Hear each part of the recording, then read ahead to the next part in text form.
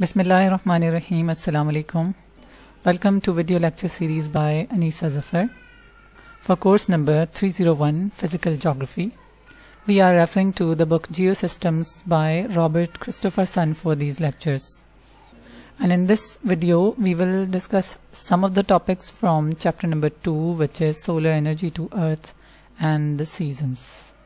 Starting off with the concept of seasons. So, with the word season, we remember the thing which we have learned since our childhood. Like there are four seasons summer, winter, autumn, spring. But um, if we go into the depth of this phenomenon or this terminology, it's quite deep, deeper than just the season names.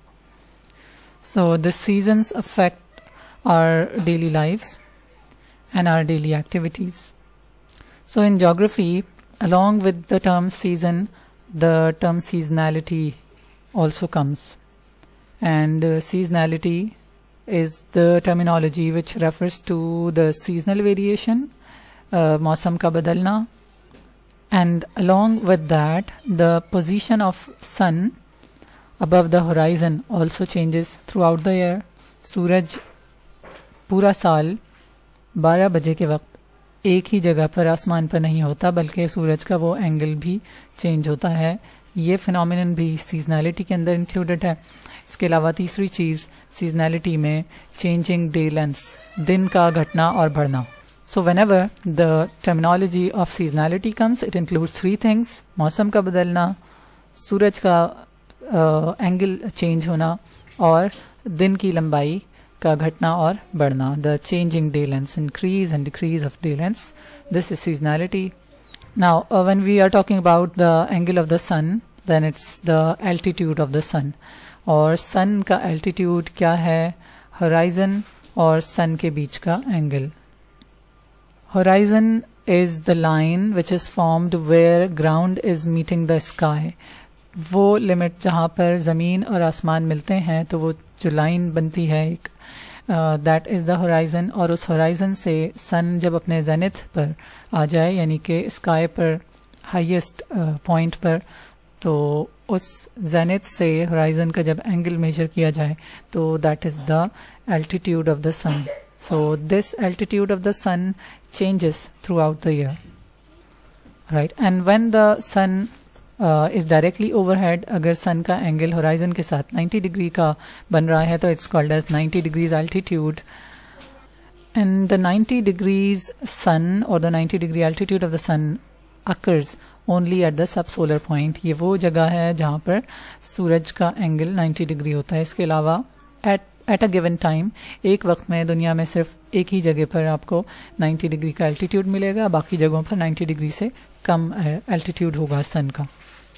और जिस जगह पर सन का altitude 90 degree होगा उस जगह की latitude को डेक्लिनेशन कहा जाता है sun's declination for example sun's angle is 90 degree at some place in Indonesia जो कि इक्वेटर पे लाया करता है सो so, वहाँ पर सन का डेक्लिनेशन होगा ज़ीरो डिग्रीज लैटीट्यूड जो कि इक्वेटर का इक्वेटर की लैटीट्यूड वैल्यू है।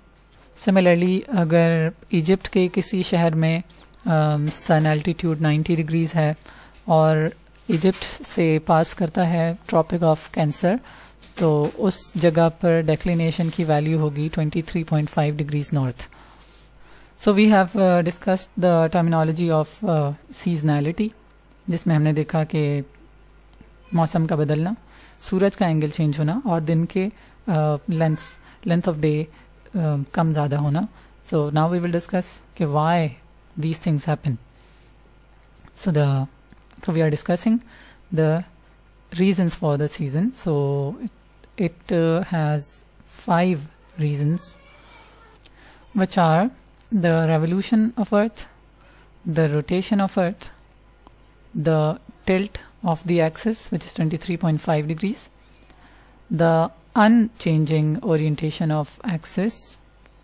and sphericity. So these are the five reasons for seasons. So revolution is the phenomenon in which the earth revolves around the sun in a special path which is called as orbit. So earth ka ek revolution सूरज के around complete होता है 365 days and 6 hours. And that 6 hours time period is adjusted in the form of leap year, के चार साल के बाद एक दिन ऐड कर दिया जाता है चार सालों के सिक्स सिक्स आवर्स को कंबाइन करके. So that keeps the earth's position in its orbit same throughout the year अगर उन छः आवर्स को कंसिडर ना किया जाए तो सीजनल पैटर्न डिस्टर्ब हो सकते हैं लाइक like जून में वी हैव समर सीजन्स अगर वो छः आवर्स कंसिडर ना किए जाएँ तो हर दफ़ा जून में समर नहीं पॉसिबल होगा। So this is the reason we have leap year one extra day in February second uh, reason for the season is the rotation. So rotation is the spinning movement of the earth around about its, its axis अपने axis के around uh, जब earth rotate करे एक लट्टू की तरह तो वो मूवमेंट रोटेशन है और एक रोटेशन कंप्लीट होती है 24 आवर्स में now when we talk about the rotation so axis की बात आती है, क्योंकि rotation is done about the axis of earth so axis is not perfectly straight बिल्कुल सीधा नहीं है एक्सिस बल्कि वो टिल्ट है. So this is the next factor which is the tilt of the axis और एक्सिस का एंगल 23.5 डिग्रीज है from the vertical plane. Okay. So, this dotted line, this one, this is the vertical plane. um, perfect north pole must have been here at here but north pole हमारा slightly downwards है because of the tilt of this axis so ये uh, check out the movement of my cursor this is the axis which is 23.5 degrees away from the actual vertical plane. So that's the plane of uh, ecliptic और फिर ये yellow shaded part जो है, ये भी plane of ecliptic है, यानी perfectly अगर पोजीशनिंग की जाए हॉरिजॉन्टल और वर्टिकल एंगल्स का तो ये सिचुएशन होती है बट अर्थ स्लाइटली टल्टेड है that's why the north pole is here and the equator is not aligned with this yellow shaded part बल्कि इक्वेटर भी टल्टेड है. Of course it's in the middle so this is also tilted so this is uh, the third factor which uh, affects the season now the next uh, factor or the reason for season is the axial parallelism According to this, the axis of the earth does not change its orientation. Axis का जो direction है वो same रहता है throughout the alignment is fixed so this Polaris it's a star axis क्योंकि हमारा fix रहता है सेम रहता है तो जिसकी वजह से नॉर्थ स्टार या पोलैरिस जो है हमेशा नॉर्थ पोल पर ही दिखेगा. This is the proof that the axis does not shift its orientation यानी कि अगर नॉर्थ पोल इस साइड पर है तो ज़मीन सूरज के गिर्द चक्कर पूरा भी कर ले नॉर्थ पोल इसी साइड पर रहेगा। इस साइड पे शिफ्ट नहीं होगा दिस साइड यहाँ पे शिफ्ट नहीं होगा बल्कि नॉर्थ एक्सिस की ओरिएंटेशन और नॉर्थ पोल का डायरेक्शन इसी द, uh, इसी जगह पे रहेगा and this will not change so this is axial parallelism and then the fifth reason for the season is sphericity earth का गोल होना। अर्थ का एक स्फेयर की फॉर्म में होना it plays it also plays an important role in terms of seasons and how it is affecting because the earth is sphere that's why some areas of the earth like the equator it receives more amount of sunlight and the other areas like the pole and the arctic circle antarctic circle uh, उन areas में सन uh, की वो intensity नहीं होती this light of the sun does not have that much intensity in the polar areas compared to the equatorial and tropical areas and this is due to the sphericity so when we talk about seasons, changing changing of day length, changing sun angle, तो उसमें ये पाँचों factors at a time अपना role play करते हैं जिसकी वजह से समर्स में sun angle is always higher winters the sun angle is lower एक स्पेसिफिक टाइम पर स्पेसिफिक सीज़न होगा। दोनों हेमिसफेयर्स में ऑपोजिट सीज़न होते हैं एट अ टाइम सो ये सारी, ये सारे factors rotation revolution tilt axial parallelism और स्फेरिसिटी की वजह से है. So here is an illustration in which all these five condition are shown together that different timings of the year में क्या सिचुएशन होती है सीजन्स की और सीजनैलिटी की. In that case four dates are very important starting from uh, December 21st. This is the shortest day of the year we have. Then March 21. This is equinox when we have equal uh, duration of day and night. और recently हम equinox से गुजरे हैं. Today is 25th March. चार दिन पहले equinox था इसलिए आजकल आप ये बात नोट कर सकते हैं कि दिन और रात का ड्यूरेशन तकरीबन सेम है And then the next important date is June 21st. This is the longest day of the year here in the northern hemisphere.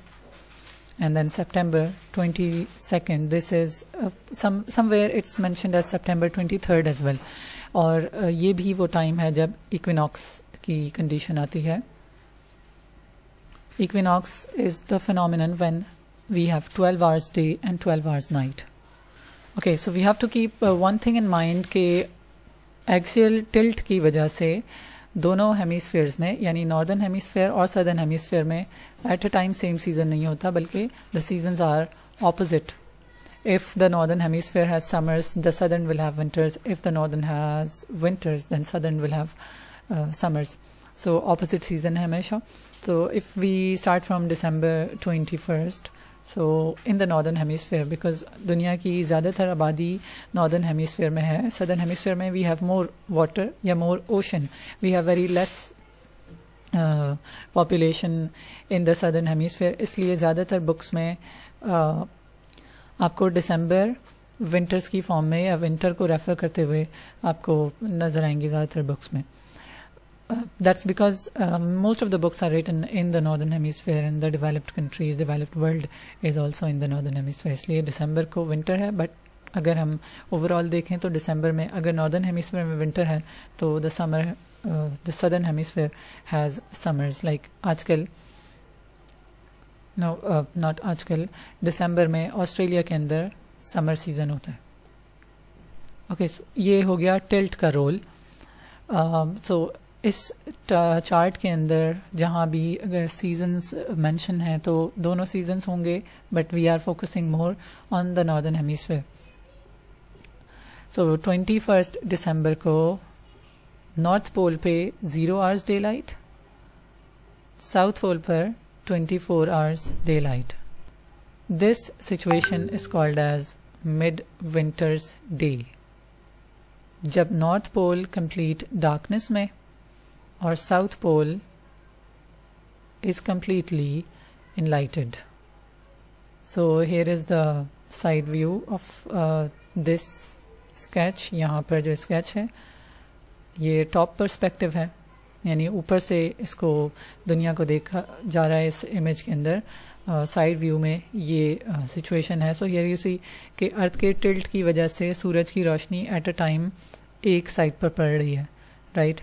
और क्योंकि ये टिल्ट चेंज नहीं होता तो ट्वेंटी फ़र्स्ट दिसंबर को आधे अर्थ पे रोशनी पड़ रही है और उस रोशनी में साउथ पोल तो इंक्लूडेड है, लेकिन नॉर्थ पोल पर एक मिनट के लिए भी लाइट नहीं आ रही। And why this is happening this is because of axial parallelism कि एक्सिस अपनी जगह से चेंज नहीं होता, ना ही उसका ओरिएंटेशन चेंज है। सो ये मिड विंटर्स डे है ट्वेंटी फ़र्स्ट दिसंबर को, जब नॉर्दर्न हेमिसफेयर में विंटर्स हैं और सदर्न हेमिसफेयर में summers then the declination of the sun यानी 90 डिग्री सन किस लैटिट्यूड पर होगा 21 दिसंबर को the 90 degree sun is at the tropic of Capricorn on December 21st. And this phenomenon is called as winter solstice. Here you go, winter solstice. And solstice means sun stands. And it's also called as December solstice वजह क्या है क्योंकि अगर कहीं पे सर्दी है तो कहीं पे गर्मी भी है नॉर्दर्न हेमिसफेयर वाले विंटर सॉल्स्टिस कहते हैं but overall it is December solstice on twenty first December जिसमें 90 डिग्री सन, यानी सन का एल्टीट्यूड 90 डिग्री होता है ट्रॉपिक ऑफ़ कैप्रिकॉन पर now moving on to March twenty So, here, North Pole experiences sunrise and the South Pole experiences sunset. अगर हम एक general view देखें नॉर्थ पोल और साउथ पोल का तो यू मस्ट हैव हर्ड के north pole में छः महीने का दिन और छः महीने की रात होती है। सो ट्वेंटी फ़र्स्ट दिसंबर को अगर नॉर्थ पोल पे रात थी तो वो रात ख़त्म हो रही है इक्कीस मार्च को। आहिस्ता आहिस्ता वहाँ पे सूरज निकलना शुरू होता है, जिसको इन्होंने कहा कि the sun sunrise condition is experienced at the north pole इसी तरह जब साउथ पोल पे यहाँ पर दिन का वक्त था 21 दिसंबर को तो आगे साउथ पोल में अब सनसेट वाली कंडीशन है। इक्वेटर पे 12 आवर्स की डे लाइट है and this is called as equinox in the year we have two equinoxes दो इक्विनॉक्स होते हैं साल में एक मार्च ट्वेंटी फ़र्स्ट को, एक सितंबर ट्वेंटी सेकेंड को। ओके सो इक्वेटर पर ट्वेल्व आवर्स डे लाइट इसके अलावा the sun's declination is also at equator यहाँ पर 90 डिग्री सन भी इक्वेटर पे है, मार्च ट्वेंटी फ़र्स्ट को। This is the time when northern hemisphere experiences spring season and the southern hem hemisphere experiences autumn season. And this half part of the earth which is receiving the sunlight और एक part है जो जहाँ पर sunlight नहीं जा रही है तो ये हाफ पार्ट जो है this is called as the circle of illumination so circle of illumination twenty first March को uh, दोनों पोल्स से टच करता हुआ गुजरता है यहाँ पर सर्किल ऑफ़ इल्यूमिनेशन के अंदर साउथ पोल था ट्वेंटी फ़र्स्ट दिसंबर को और सर्किल ऑफ़ इल्यूमिनेशन के बाहर नॉर्थ पोल था Now let's come to June 21st. This is called as the longest day of the year. And uh, here you see the circle of illumination includes the North Pole and the South Pole is outside the circle of illumination. इस uh, इस वाली sketch में ये ज़्यादा clear है side view के अंदर कि सर्किल ऑफ़ इल्यूमिनेशन जो ब्राइट वाला पार्ट है it includes the northern the north pole while this south pole is outside the circle of illumination so the north pole experiences twenty four hours daylight while the south pole experiences zero hours daylight and ये total रात का वक्त है south pole पर। तो you see के इक्कीस दिसंबर को साउथ पोल में दिन था यहाँ पर, और फिर छह महीने बाद यहाँ पर रात हुई है। so this is the thing which we which people say that six months day and six months night the declination of the sun on June 21st it's at tropic of cancer and when the 90 degrees sun um, yeah altitude sun ka altitude jab 90 degrees ho north uh, tropic of cancer pe so that phenomenon or that day is called as the summer solstice and it is also called as June solstice. Summer solstice for the people of northern hemisphere and June solstice overall क्योंकि जब northern hemisphere में summer है तो southern पे winter है so when the northern hemisphere the north pole is experiencing 24 hours daylight तो इस phenomenon को कहते हैं नाइट सन जैसे दिसंबर ट्वेंटी को मिड विंटर्स डे कहलाता है। इसी तरह से जून ट्वेंटी को मिड नाइट सन कहा जाता है। Then lastly we come to September twenty second it's the time when we have equinox equinox means equal nights twelve hours day and twelve hours night इस टाइम पर sun altitude 90 degree या सब solar point या declination of the sun होता है equator पर। दो दफ़ा इक्वेटर पे 90 डिग्री सन आता है ट्वेंटी फ़र्स्ट मार्च को और ट्वेंटी सेकेंड को। So March one is March equinox या उसको स्प्रिंग इक्विनॉक्स भी कहते हैं। सितंबर को सितंबर इक्विनॉक्स या vernal equinox there you go vernal equinox March equinox here and spring equinox. Tino same names hain and then here we have autumnal equinox or the September equinox on 22nd September. So ye do equinox uh, ki timings. And during the autumn equinox we see north pole is experiencing sunset condition and south pole is experiencing sunrise condition. So these are the five reasons for seasons and different conditions of the earth during different parts of the year. Now let's discuss two important terminologies regarding the sunrise and sunset.